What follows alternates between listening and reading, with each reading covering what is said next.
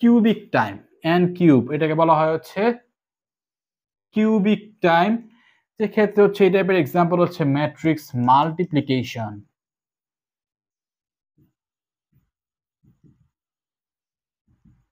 দুইটা ম্যাট্রিক্সকে হচ্ছে আপনি মাল্টিপ্লিকেশন করছেন, তো এই ক্ষেত্রে হচ্ছে আমাদের কাছে মেইনলি হচ্ছে লুপ থাকে হচ্ছে তিনটা, তাই না? এখানে আর একটা লুপ রয়েছে for k is equals to zero k is less than n k plus plus এবং এখানে হচ্ছে আমাদের একটা স্টেটমেন্ট রয়েছে। সো এখানে আমরা মাল্টিপ্লিকেশন করছি এই স্টেটমেন্টের মাধ্যমে।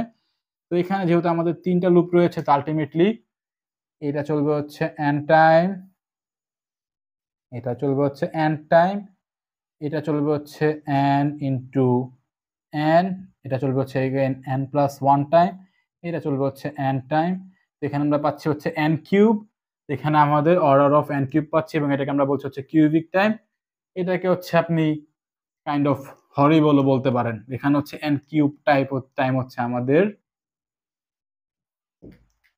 এক্সিকিউশন টাইম বা হচ্ছে রান টাইম হচ্ছে অর্ডার অফ এন কিউব তো এখানে এই স্টেটমেন্টটা হচ্ছে, যেটা হচ্ছে আমাদের ইনপুট সাইজ এন তার কিউবিক টাইম হচ্ছে নিচ্ছে এখানে এই স্টেটমেন্টটা রান হতে। আশা করছি বুঝতে পারছেন। সিক্স গেল সরি এটা হচ্ছে সেভেন গেল, তাই না? নেক্সট এইট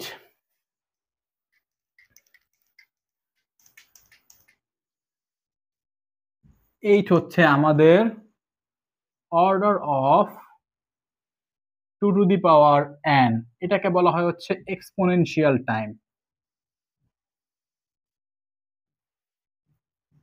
এটা কি বলা হয়? এক্সপোনেনশিয়াল টাইম এবং হচ্ছে আমরা এই পর্যন্ত এই টাইপের কোনো টাইম কমপ্লেক্সিটি এই পর্যন্ত আমরা অ্যানালাইসিস করে পাইনি। বাট হচ্ছে এই টাইপের টাইম কমপ্লেক্সিটি পাওয়া পসিবল হচ্ছে জাস্ট ফর এক্সাম্পল হচ্ছে ফিবোনাচি সিরিজের ক্ষেত্রে হচ্ছে আমরা এই টাইপের টাইম কমপ্লেক্সিটি পেয়ে থাকি। এবং যেহেতু হচ্ছে আমাদের এখানে এক্সপোনেনশিয়াল গ্রোথ হচ্ছে মানে হচ্ছে মিনিমাম কিছু অ্যামাউন্ট টাইম হচ্ছে কম কম গ্রোথ হবে। বাট হঠাৎ করে যে হচ্ছে অনেক বড় একটা গ্রোথ আসবে মানে হচ্ছে হঠাৎ করে হচ্ছে বা এনের ভ্যালুর উপর ডিপেন্ড করে অনেক বেশি সময় লাগতে পারে রান টাইম হতে। তো এটাকে হচ্ছে আপনি হরিবল বলতে পারেন।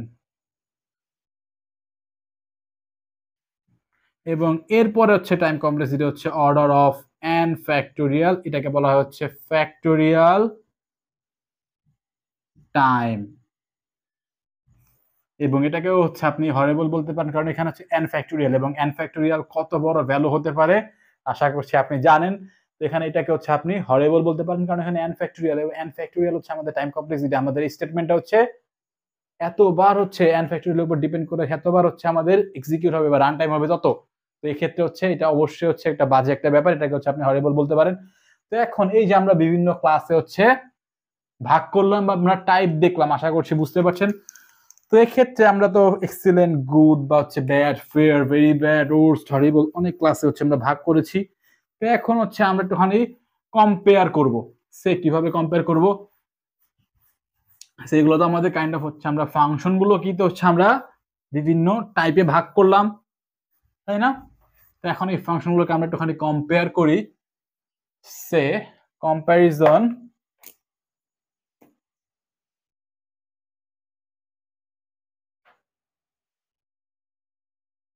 of functions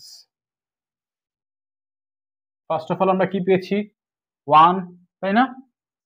এটার থেকেও, এটা সব থেকে বেস্ট ছিল। তারপরে কোনটা ছিল? তারপর হচ্ছে বেশি ভ্যালু বা বেশি ভ্যালু আসতো, কোনটা ক্ষেত্রে রান টাইমের ক্ষেত্রে কোনটা বেশি ভ্যালু আসতো? এরপর আসতো হচ্ছে আমাদের লগ এন তাই না?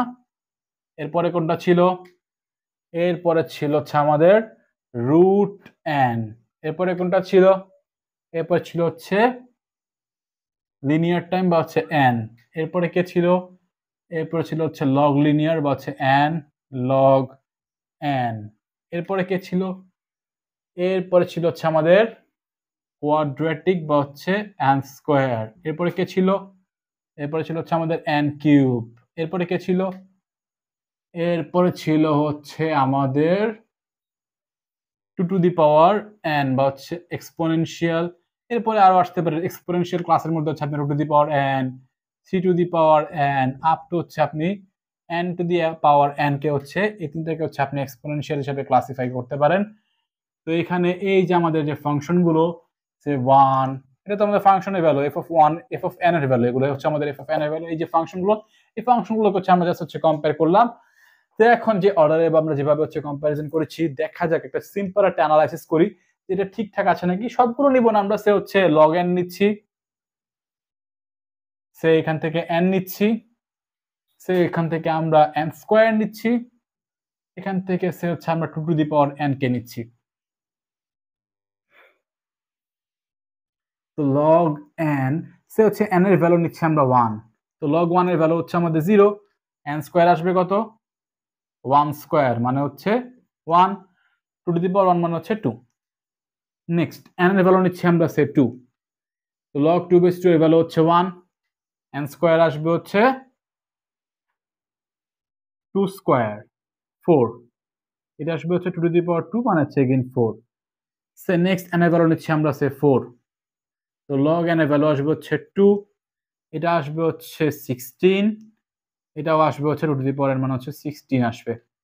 নেক্সট এম এর ভ্যালু হচ্ছে সে আমরা এইট এটা আসবে হচ্ছে three two to the power three মানে হচ্ছে এইট এটা আসবে হচ্ছে এইট স্কোয়ার মানে হচ্ছে সিক্সটি ফোর এটা আসবে হচ্ছে টু দি পাওয়ার এইট দুইশো ছাপ্পান্ন। নেক্সট সে হচ্ছে এনের ভ্যালু নিচ্ছি আমরা হচ্ছে সিক্সটিন এনের ভ্যালু সিক্সটিন নেওয়াতে এখানে আসবে হচ্ছে টু দি পাওয়ার ফোর এখানে পাবো আমরা ফোর এন স্কোয়ার কি আসবে? এন স্কোয়ার আসবে হচ্ছে সিক্সটিন স্কোয়ার মানে হচ্ছে দুশো ছাপ্পান্ন। এবং এখানে two to the power n কি আসবে? Two to the power sixteen আসবে হচ্ছে two to the power sixteen মানে হচ্ছে পঁয়ষট্টি হাজার পাঁচশো ছত্রিশ। তো এখন দেখেন তো,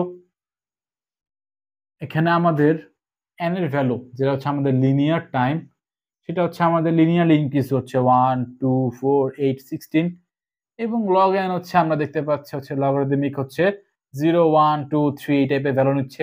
কম কম করে আমাদের ইনক্রিজ করছে, এটাকে ভালোই আমরা বলতে পারি। এবং এটাকে হচ্ছে আমরা কাইন্ড অফ ফেয়ার বলতে পারি। ওকে চলে। এন স্কোয়ার দেখেন তো ইনিশিয়ালি ওয়ান তারপরে ফোর তারপরে হয়ে গেল সিক্সটিন সিক্সটি ফোর দুশো ছাপ্পান্ন তো এই দেখেন, এখানে সে কিন্তু একটুখানি বেশি বেড়ে যাচ্ছে বা পরের বার কিন্তু আরেকটুখানি বেশি বেড়ে যাবে, তারপরে বা একটু বেশি বেড়ে যাবে, তাই না? তো কোয়াড্রেটিক হচ্ছে তেমন একটা ভালো না।